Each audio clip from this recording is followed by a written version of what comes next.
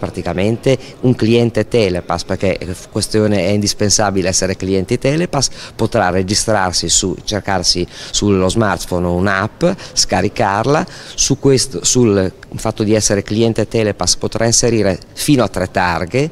E una volta che uno trova il parcheggio e decide di parcheggiarsi, tramite l'app l'app dove è inserito anche un geolocalizzatore, si inserisce dove si parcheggia e la durata del parcheggio.